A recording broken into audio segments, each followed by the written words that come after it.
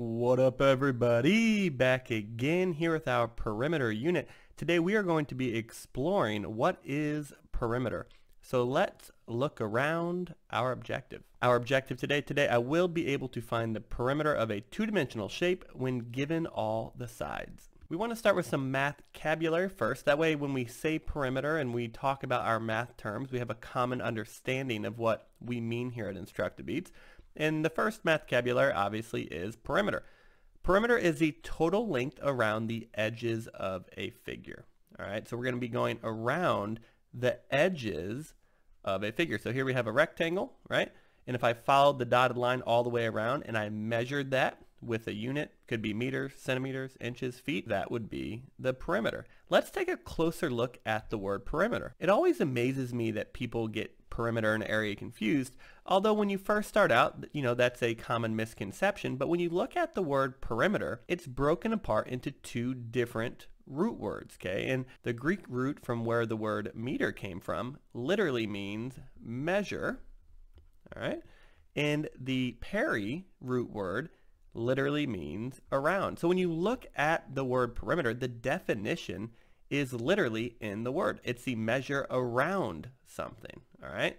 So you can use that to help you remember the difference between area and perimeter. So just like we talked about before, when we're looking for the perimeter, we're going around the edges of a shape, all right? So edges are kind of the sides of a two-dimensional shape, and you can find the perimeter of any closed figure, right? So the edges of this triangle, now I'm not going to do it perfectly because I'm writing with the pen, would be right there. Here you could find the perimeter of finding of this. Here you could find the perimeter of the square by finding the measurement of all of these edges and adding them up. Or you could do the pentagon by finding all the edges and adding them up. You could even do a heptagon with seven sides by finding all the edges. So the amount of edges, or what we typically call sides, doesn't matter. All you have to do is find the length of all of them, the measurement for all of them, and add them together. You could even do a shape with 12 sides, a dodecagon, if you will, all right? All you have to do is find the length of all of those edges and add them together. Now, it's not a circle, although you can find the perimeter of a circle, called the circumference, but we're not doing that today. So the way we find the perimeter is inside the definition. We need to know the total length of all the sides. So here we have four sides or four edges. And if we want to find the perimeter of them, all we need to do is add all of them together. So my statement's going to say the perimeter is blank units. And then I need to find the dimensions of my rectangle. So I have 1, 2, 3, 4, 5, 6, 7, 8, 9, 10, 11, 12 units here. I know that if I look opposite parallel, my attributes of a rectangle tell me the opposite side is going to be congruent. So this is also going to be 12 units. Here I have 4 units and 4 units. So if I wanted to know the so if I wanted to know the perimeter, again, it's in the definition. We're going to look for the total to go all the way around, almost like you're an ant and you're going all the way around the rectangle. You need to add up all the sides. Now to do that, we're going to introduce something to some of you. Some of you have been using tape diagrams or bar models for your whole math life, but I love to add with a part whole model. And this is going to come in really handy next lesson, so we're going to practice it for this lesson. So here I have a part whole model. It's not a rectangle, this is a bar model. And I know that I have two sides that are the exact same. All right, so I need two groups of 12, and then I had two sides that were both 4. And if I want to know the total of those, right, I want to know the perimeter, I just need to add all of those together. So when I add all of those together, my perimeter is 12, 24, 28, 32 units. Okay, so again, this has nothing to do with perimeter. This is just showing an addition equation visually using a bar model. It's a great way to do math. What this really is telling me, just so you can kind of see the equation, is 12 plus 12 plus 4 plus 4 is going to give you your sum of 32.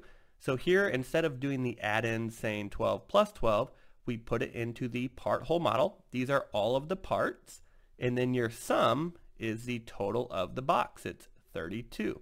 So we're going to be solving our addition problems using part whole models throughout this entire unit. Our we do problem says Joni had a triangle whose sides had a length of 12 feet. What is the perimeter of the triangle? So my statement's going to say the perimeter of the triangle is blank. All right. Again, I know I'm looking for perimeter, so I need to know my feet right there. And also I have the picture right here. So again, it doesn't matter what the shape is. If I'm finding perimeter, I'm going around the edges of the shape. So I know now I'm going to solve this again using my visual model because this is really going to help me next lesson. I have three equal groups. I want to split this into three equal groups and each side was 12. And I'm looking for the total length of all the sides. So I'm going to add up my 12, my 12, and my 12. And when I do 12 plus 12 plus 12, I see that my total perimeter is 36 feet. Again, showing the addition equation visually using a bar model or a tape diagram is a great way to do math. So here's a you try problem. What I want you to do is if you are ready try this one by yourself, go ahead and push pause right now, solve the question, and then push play to check your understanding. If you're not there yet, that's totally okay. You can do this as another we do problem in your notes which by the way you can find in the description for the video. So hopefully if you're ready, just push pause and now you are ready to check your work. So my question said, how many feet would you need to go around the edges of the pentagon? So I'm going to say you would need blank feet. And based on my statement, I know I'm going to be identifying anything about feet or any other important information in my problem. Now it's asking me how many feet I would need to go around the edges of the pentagon. That's literally the definition for perimeter. So it's just asking me what is the perimeter of my pentagon? So I have five edges or five sides and you want to add them up to find the total length of all of them to if you were going all the way around. I'm going to use a tape diagram or a bar model to show my understanding of what I'm doing visually. If you just wanted to do an addition equation, you could also do that, but I highly encourage you to be using your tape diagrams. So here I have three sides that are, or sorry, two sides that were both three. And then I had four sides that were exactly the same. So I'm going to split the rest into three equal groups. And I know all of those were four, and I want to know the total length. I'm going to be adding these all together. So here's the awesome thing about the tape diagram. You don't have to solve all of it in one step if you don't feel comfortable counting in your head.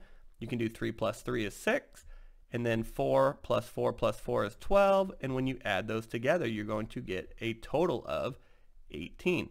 So the value of your tape diagram is 18. The perimeter was 18 feet if you went all the way around the edges. Now I think it's time for the challenge zone. It says Mr. Beller wants to put a border around his miniature golf hole. I only have one golf hole apparently in my backyard. How many meters of border will he need to go all the way around? So my statement's going to say he will need blank meters to go around. And I know I'm looking for anything in, about meters in my word problem or anything about going all the way around.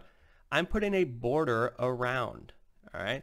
This is a keyword that tells me I'm doing perimeter, but it's not just a keyword that you grab and you don't understand. If you're putting border around something, a border is something that goes around the edges of a figure. So the, again, this is literally just asking you for your perimeter. And then you wanted again to know how many you would need to go all the way around.